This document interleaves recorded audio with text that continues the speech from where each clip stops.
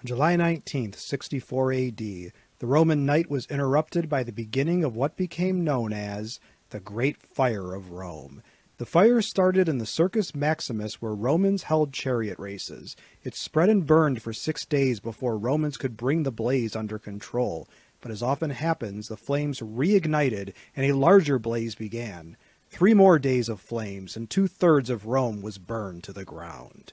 Emperor Nero blamed the Christians and began a program of repression against Christians, but many of his enemies and common folk blamed Nero, and the common trope of Nero playing a fiddle while Rome burned was born. Nero was eventually obliged to flee for his life and ultimately committed suicide in exile in 68 AD, perhaps the last victim of the Great Fire of Rome.